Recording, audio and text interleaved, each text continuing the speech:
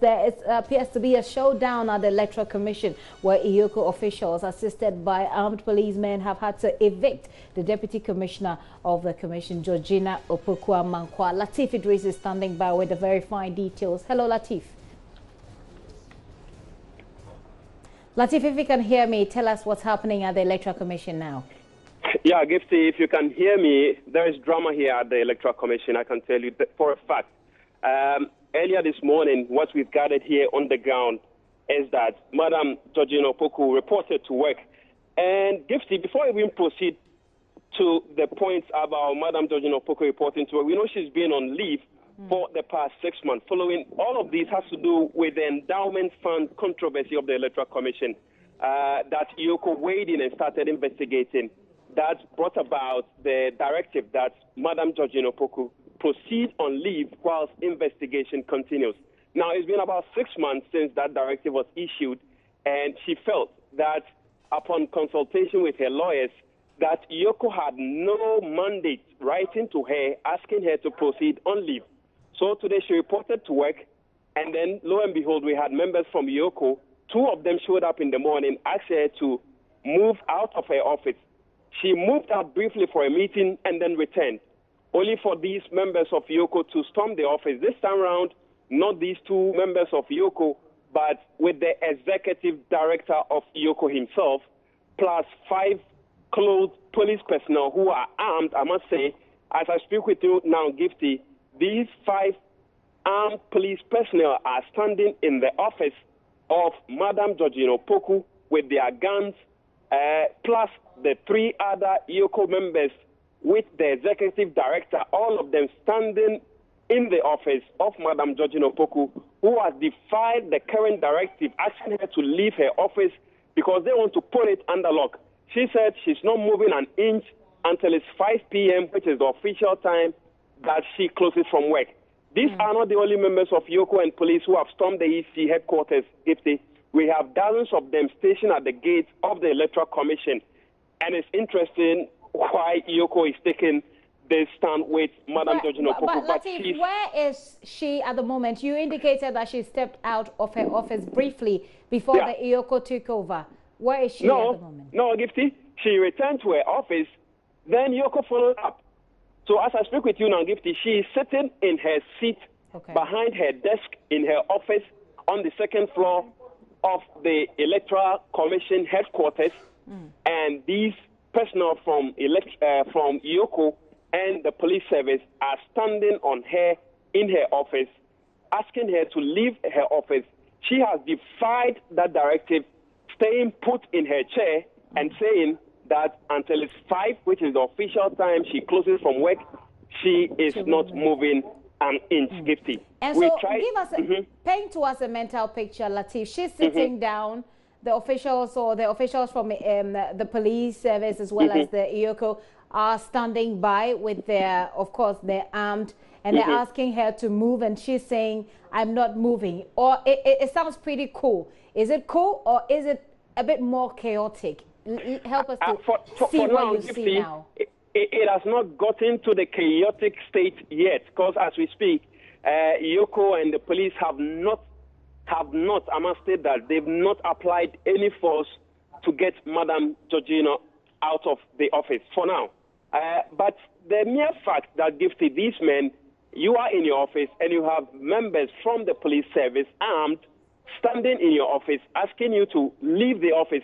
In the midst of all of this Gifty, I went straight to Madam Georgina Opoku and asked her, Madam, do you feel intimidated with these men standing in your office her response was no. She doesn't feel intimidated, but she feels it is absolutely not right for these men to storm her office in the manner in which they did it, Gifty. Mm. So obviously she's not leaving. Tell us about the atmosphere this has created at the Electoral Commi uh, Commission. Oh, it is interesting, Gifty. Now, we have almost all the workers of the Electoral Commission downstairs. I can see lots of them in groups having conversation, and obviously it has to do with what is going on in the office of the deputy chairperson of the Electoral Commission, Madam Georgina Opoku.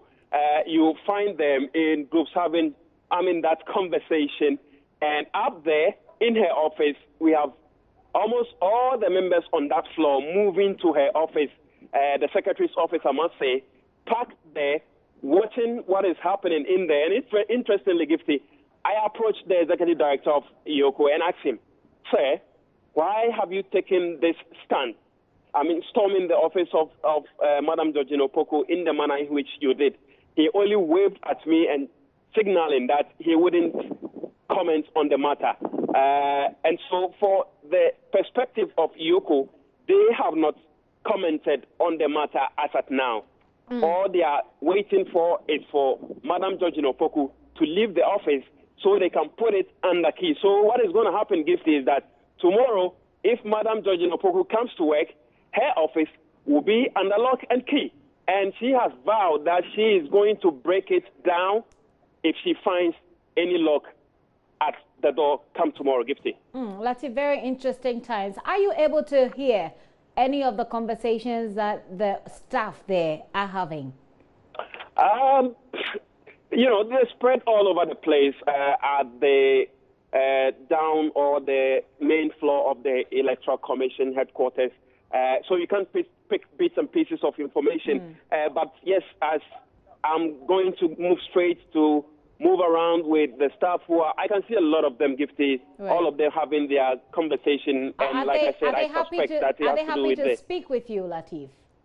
Uh, we, we will try and get reaction from members of, of the mm. Electoral Commission here to find out what they make of all of these, I mean, storm by members of EOCO. Right. And, and whilst you're at it, do we mm. know whether or not the boss, Charlotte Osei, is around or any of the deputies? Uh, we haven't found out yet, uh, but we know that Madam Charlotte Osei has also been at post. And so if she reported to work today, uh, one can hazard a guess and say, yes, she's still at post. But that's not what, that's something we haven't found out as at now. Again, we're going to do that check and then come up with the latest on the development here at the Electoral Commission headquarters, Gifty. Okay. I take it as we speak that uh, Madame Georgina Opoku is sit, seated in her seat. She's still, she is still, she's she is still there. Gifty. And the she's, police, pers- right, and the police personnel are standing by. It appears exactly, they're all waiting. It appears we they're wait. all waiting for five when he when, when she closes. Exactly. We're waiting for you. You can take the whole day. If it is five years, we are here. We are standing and until it's five, you definitely leave the office and we are going to put it under key. I'm sure. I mean, this is what is running through the heads of EOCO and the police personnel who are gathered here in the office of the Electoral Commission, Gifty. Right. Thank you very much for that information. Is there any other thing we need to know, Latif, that perhaps I haven't asked? Um, the only thing is that, Gifty, prior to the uh, reinforcement, if I can use that word, because they came, initially there were just two of the EOCO members until they went back to their office with a bus and brought in a good number of them who are, I mean, some of them stationed at the main gate of the headquarters of the Electoral Commission. Mm. And so we do not know if they would bring in much more men from EOCO as it were. And I they are dealing with just one woman. So bringing in reinforcement, I mean, it's interesting. But this are intelligence work, and we don't know why they trying to beef up right. uh, men from EOCO as they have okay. done. So, yes, okay. there hasn't been much of uh, anything we've missed out on this report, Gifty. Very well, Latif. We'll come back to you as and when. I'm sure that by five, uh, she'll decide to leave, as she has said, and we'll see yeah. how that goes down as well. Latif Idris coming to us live uh, from the headquarters of the Electoral Commission, where we understand that the EOCO officials, assisted by armed policemen, have uh, been engaged in some kind of a showdown involving uh, the Deputy Commissioner for the uh, commission, uh, Georgina Opoku Amankwah.